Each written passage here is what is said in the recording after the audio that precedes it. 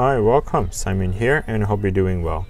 In this video, I'll walk you through step by step on how to do a battery replacement on an HP laptop.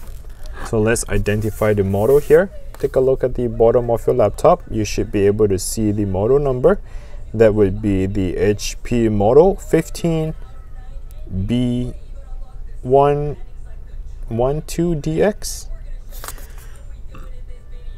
or BL112DX, something like that. But that's the uh, the model of the laptop.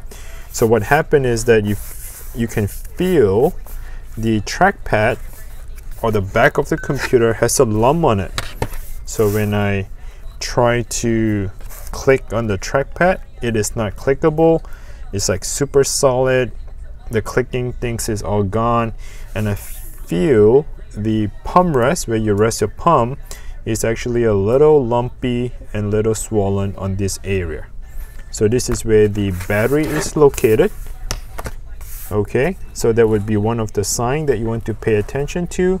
The second is obviously if the computer is not holding the charge or the battery dies off very quickly, then those are the early sign for the replacement. All right, so I'll be using a T5 screwdriver. So let's this is the T5, a Torx 5 screwdriver. We got to remove some of the screws here.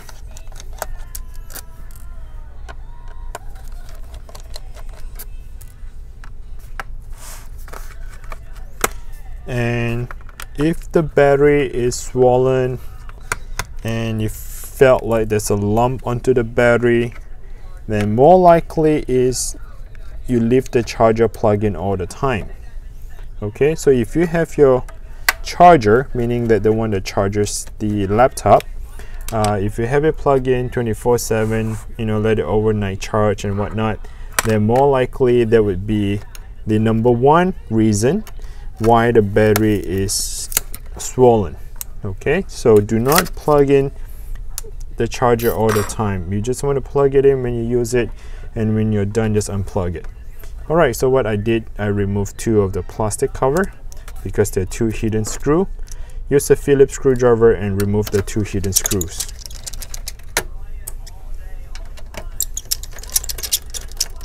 Once you have removed that, go ahead and slide and lift up the back cover. Okay, so here you can see that the battery is obviously swollen.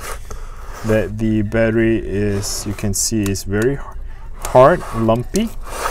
Okay so that is obviously we need to replace it. And this is the connector. So what you can do is slide the connector to your right. Okay just pull it or slide it to your right. Disconnect the battery. The next step is to go ahead and remove the screws we are going to remove two of the screws here.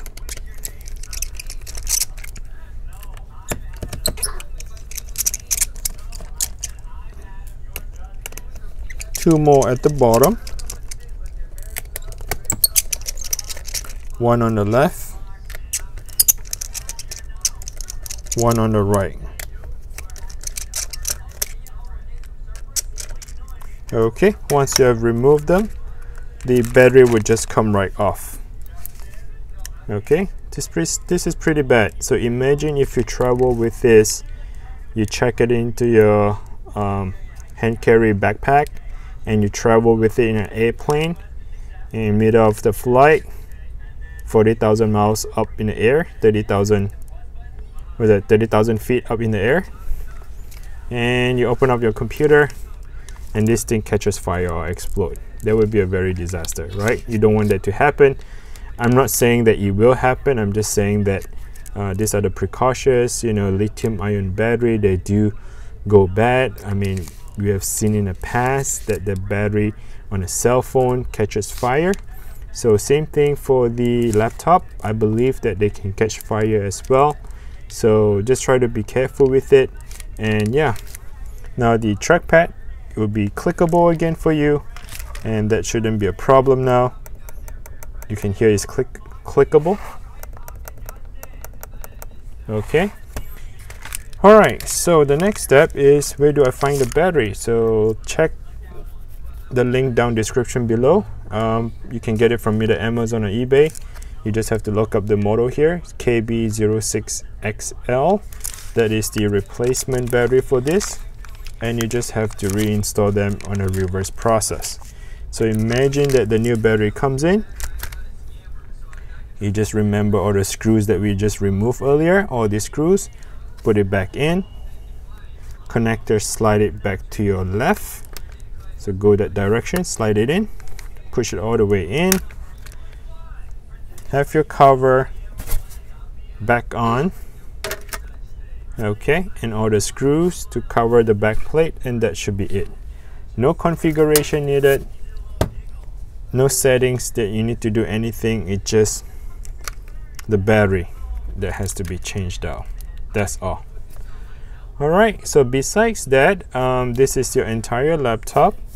And if you have any question regarding about the hard drive upgrade it's right there. That is your M.2 hard drive um, two of your CPU fan you, you might want to take this opportunity to uh, dust it up maybe get a brush brush it off or get an Aiken duster things like that and uh, yeah. And if you do find the video is helpful please click the like button and subscribe okay? Do not miss that. I want you to do that for me uh, in exchange for this how-to tutorial. Alright smash the like button subscribe. Thanks for watching. Comment below. Until next time. Bye now